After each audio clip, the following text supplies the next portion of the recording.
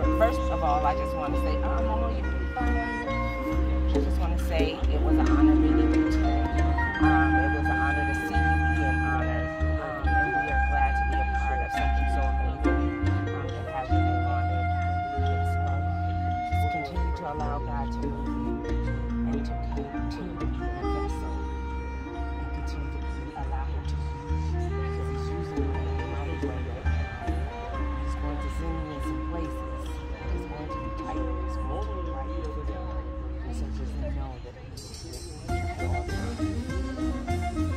Thank you. Thank you so much.